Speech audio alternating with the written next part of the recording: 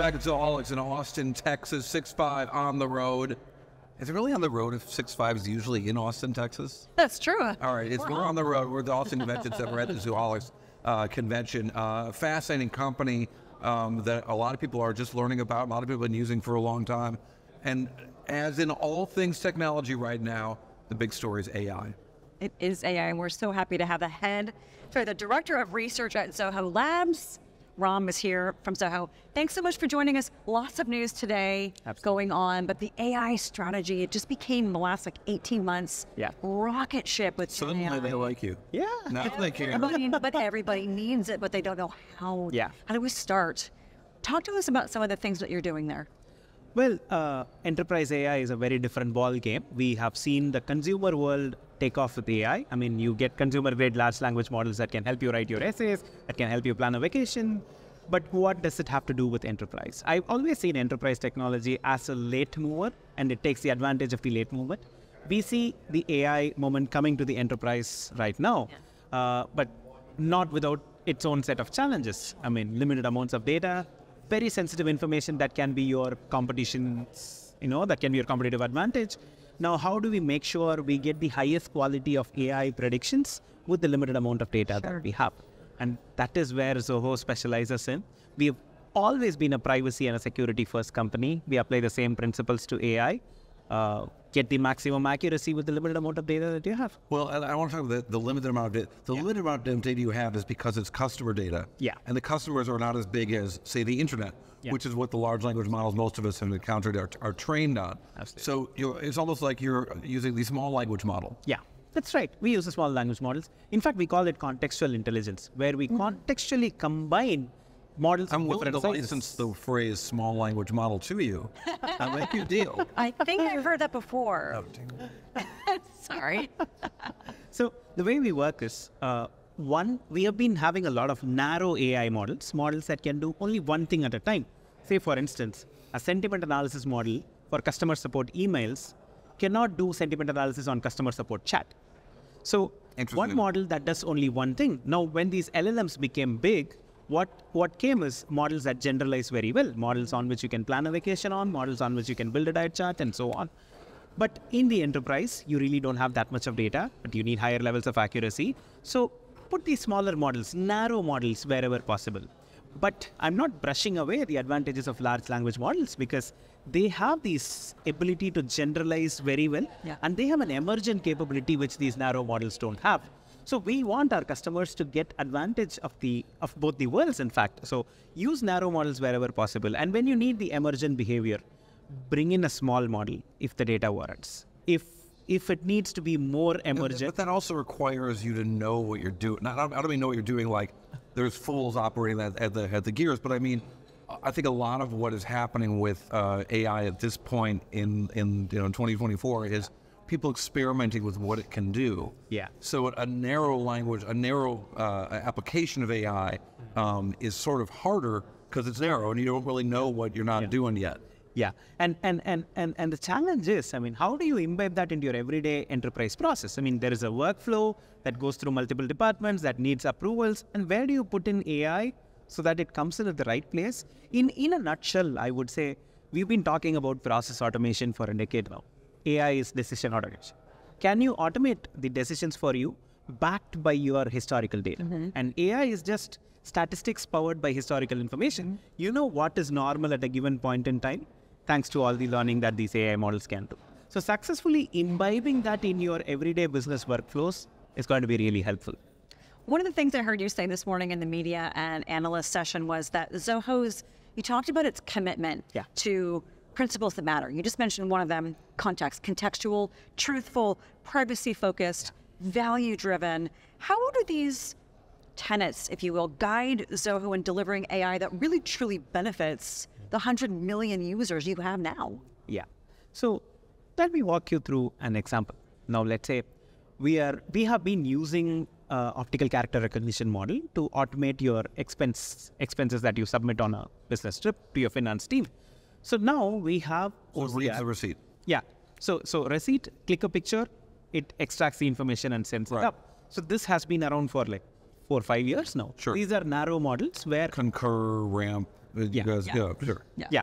So you do that. Now, what happens next is hundreds of receipts end up in an admin, and it's his job to, or her job to actually look through it and approve it, or go back, ask a question to the employee on why this was done.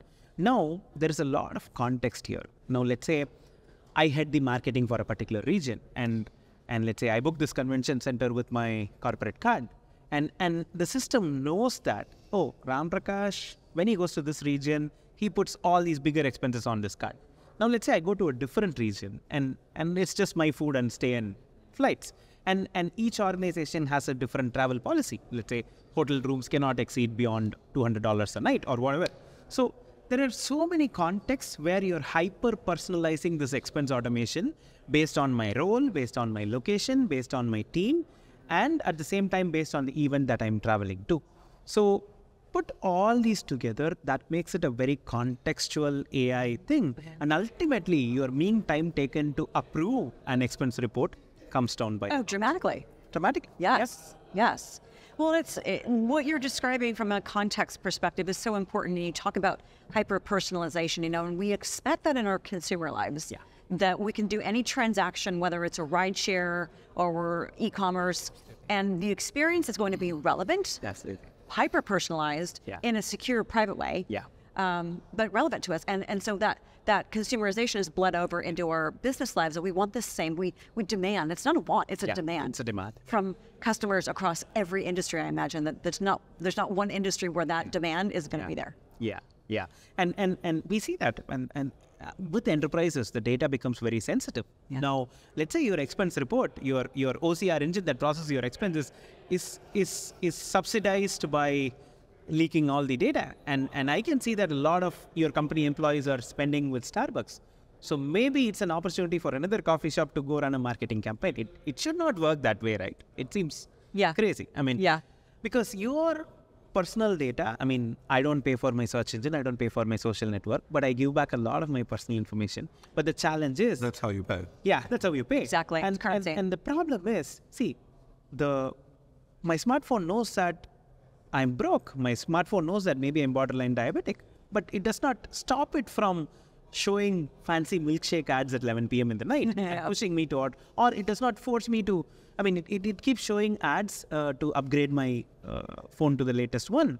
So you see the difference. Your data is your data, and it should be working in your benefit. Maybe it should push me to exercise more. Maybe it should push me to, okay, it's okay, your phone is still good. Maybe don't go for that upgrade, but it doesn't work that way. No. Now, the same thing cannot be applied to the enterprise because that's your competitive advantage. And we at Zoho, we've been very particular on our privacy stance, not just with AI, with everything we do. We we have, uh, I mean, right from the days we started, we didn't have ads even in our free plans, and, and that's how we work. So we apply the same tenets to AI, and that is what makes us so unique in this field. I think another thing that's unique is, and this is my perspective as a public markets, U.S. stock market person, but the fact that you're a private company, Yeah. and you your approach towards AI, at least what you say your approach to AI is, is we're not trying to put AI in front of our customers. We're just trying to get stuff that works better in front of our customers. I'm paraphrasing, and I th- and I'm thinking about uh, the massive criticism Google has gotten for not having its own Chat GP and not having it, which it Yeah. does now, I guess.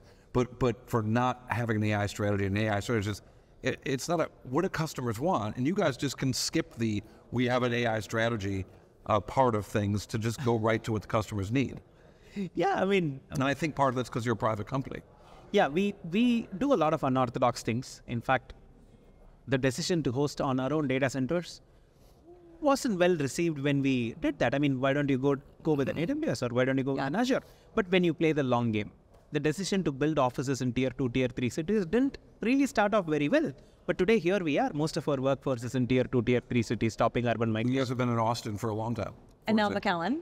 And now at McAllen, Yeah. McAllen is our biggest growing uh, office uh, in the US. Our CEO himself lives in a remote South Indian village called Tenkasi. Yes. Well, it's like four hours away from the nearest international airport. Right. So, uh, we are very, very unique company. We believe in playing the long game. Staying private has really helped, and we can go fail with our experiments. So, I mean, 2011, I started the first AI research as intern, and any any big company would have possibly gone and acquired somebody to do it, or gotten a bunch of PhDs to get started to do. Right. But I was just a fresh programmer out of college, and I got the opportunity. Yeah. And and here we are. So a lot of things might sound crazy or unique when we start, but I have seen over the years the conviction has really paid off. And that's one of the things that Sridhar talked about this morning was that conviction. Yeah. We've heard it Yeah. from every guest we've had on the program today, customers. Raju was even talking about it. Um, and it, it it's one of those things that, you know, I always like to understand the culture of a company. You hear about it. But there's, and Corey and I have been talking about this too, there's a uniqueness here Yeah. that isn't just unique in saying so, it's authentic. And I think that we've we've had that message reinforced. Yeah. Uh, I'm sure it's reinforced in the partner community. But how, uh, you know, in the last few minutes that we have here, walk us through. You've been there a long time. The evolution of that of the company, where that philosophy to stay private, to grow organically, has been maintained as the company has grown. So uh, it is a motivation, right? It is building that technical know-how, and uh, you know, taking your time, taking your time to get things right, understand, have a deep. I mean, you you work ten months on AI, you are an AI expert, right? So give that engineer the time and space to get things up to speed. So we we run a lot of unorthodox projects. So for example, we are we are investing in things like uh, generally GPUs. People talk about AI, people talk about uh, video processing, gaming, and all that. Yeah. But we use a lot of GPUs for our database acceleration workloads, and we find that it's relatively greener to throw in GPUs than uh, hundreds of CPUs on databases. Right. So very very unique, and and these experiments might fail. A public company might not be able to do it, but we have the liberty. We we start small, we fail fast, and that has really helped. And and we fail fast, and only when it scales. See, 2011, I was the first intern who started AI, and it was only in 2015 I got my second uh, colleague. So taking things slow, Yeah. uh, failing fast has really helped. That's awesome. Ram, thank you for joining us on the program and walking us through what you're doing from a research perspective in labs, how you're helping customers embrace it on a, on a pretty quick pace, doing it securely, doing it privately, and the democratization of, of access. We appreciate your insights and your time. This has been a great conversation. Pleasure is mine. Really appreciate the opportunity. Enjoyed it. We have one last look at what's happening here in Zoholics and with some of the best analysts from 6.5 and, uh, and from Futurum Group to really get a sense of why this matters. We're going to have that for you right here from Austin, Texas. 6-5 on the road right after this.